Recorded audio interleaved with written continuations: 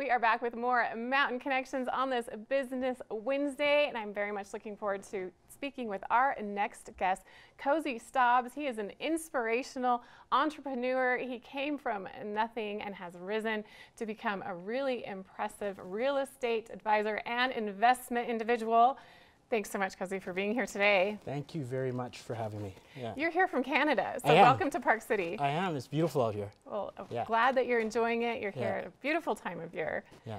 Now, you really started with not very much. You grew up with an immigrant family in Canada. Correct. Tell me a little bit about your background. Yeah, absolutely. Um, I think it's important to uh, talk about how I started because if you look at what I've accomplished, and um, I've accomplished, you know, on any scale. I've accomplished a lot, but if you look at what I've accomplished and you look at where I started, you'd almost think that it's unattainable.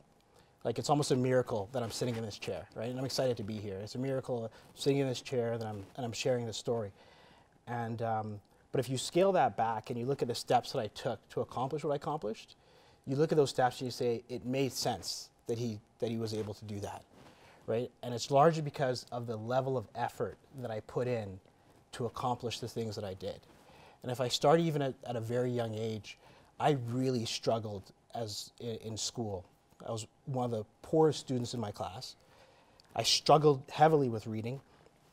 A lot of that had to do with I had dyslexia and I, it was undiagnosed. So, you know, when the teacher goes around and has everyone read a sentence, that was the most uncomfortable experience for me as a child, and it, it really resonated with me because I would really stumble over all my words.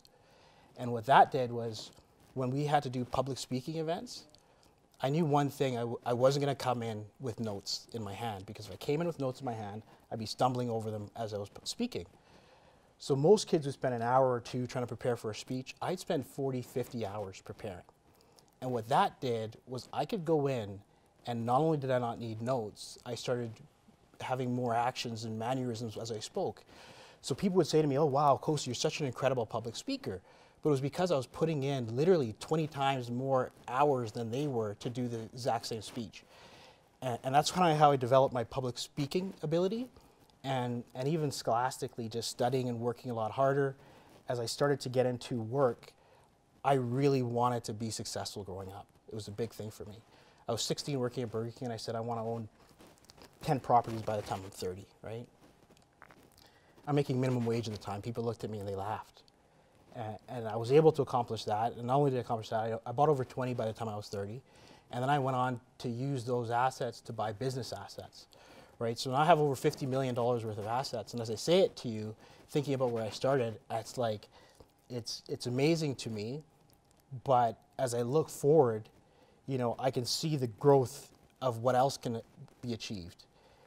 And, and the reason why I can see that growth is because I put so much studying in. Like, as I was buying businesses, I'd read hundreds of books on businesses. I've read over 50 books on Warren Buffett. When you read that much, you learn a lot, you pick up a lot. And that's why I said before, it's a miracle of what I've accomplished. But when you step down and you look at what I did to get there, it makes a lot of sense. If anyone read as much as I read, they would get to where I got to, right? So I was uh, initially, before I started um, buying companies myself. I was working in a company.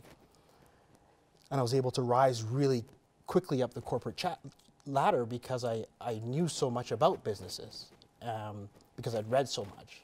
So I'm working as an engineer, and, and instead of talking to engineering, I'm talking to the business and the finance of the company.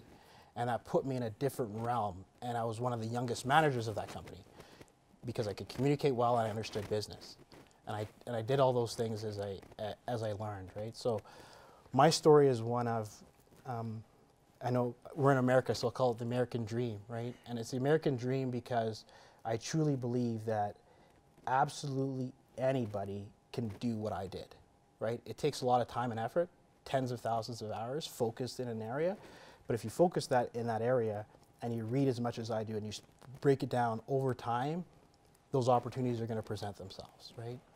I have to say that you're being a bit humble. You have this undeniably strong work ethic. It sounds like you always had mm-hmm. this ability to just dive right in, work as hard as you needed to do, put in all the extra hours. You mentioned you worked at Burger King. You were able to earn enough money to go to college, become a mechanical engineer, exactly. and then start purchasing properties from there. Yeah. And now you're in investment, real estate really this work ethic is what I'm very inspired by. Thank you. And it's it's one, you know, if I think about it, it probably it came from my parents, to be honest. Um, my mom came here as a nanny, and then she worked uh, kind of in janitorial services in a hospital, right? And she also worked as a porter in a hospital. And she never ever took a day off. She never took one sick day in her whole entire career, even as she retired. They said, You have like two years worth of sick days. Would you like to take some time off? She said, I'm not taking time off because I'm not sick. And, and my dad is a very similar story. And having that, those as examples um, was really good for me. And then also just my burning desire to want to achieve more. Like I, I always believed that I wanted to accomplish and do a lot more in life. So like that inside me, that kind of fire inside me just drove me to keep going, right? So when people were doing other things, I was focused in other areas. I just kept pushing and just kept going saying, hey, if I keep going, I can do this. And I think because I had, I had early success with working hard, because I was so scared of reading in front of people and that public speaking, because I had early success, I saw the link between hard work and accomplishment. Because, uh, you know, when I started, you know, even practicing speaking, I was fumbling and then hours as the hours went on, I got better and better and better, right? So when you do, if you practice one five-minute speech for 50 hours, it's going to be good, period, right? It, um, so that that that that set me to say, okay, well now I want to buy real estate. So I started studying real estate, and I started with eight thousand dollars, bought properties, and I learned how to refinance and buy other properties because I'd studied all that, and then I and then I understood to buy companies, you know, there's, there's places you can go to raise capital to help with the acquisition. There's also places you can go to get debt financing, and there's a lot of different ways to structure the purchase of a, of a company. If the numbers are really good, you buy it for the right price. I learned all that. You know, I read from the greatest. You know, Warren Buffett is a multi-billionaire. So if I read about Warren Buffett, maybe he's got 80 billion. Maybe I'll get one, right?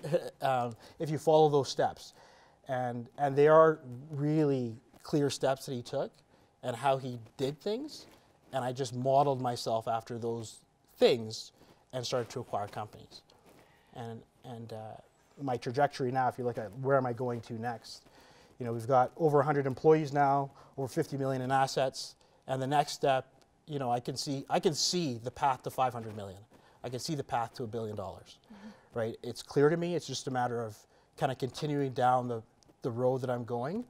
And you know, I'm, I'm 38 now. 58 will be different. 68 will be different. I'll always be doing this. I like enjoy it, right? I really love it. So like, it's easy to do something when you enjoy it and you're you're into it and you're just driven by it. Right? Well, I have no doubt you'll achieve those goals. You really didn't let your past define you. You didn't give up. You worked mm-hmm. incredibly hard, as I mentioned. You're a very motivational person. How can we follow along with you and what you're doing and really continue to get inspired by your journey? Yeah, so I think the best way, I spend a lot of time on, uh, not time on, I, I have a pretty big profile on Instagram. That's probably the easiest way to connect with me and see what I'm doing day to day. Um, my Instagram handle is the, then the word property owl, so the property owl.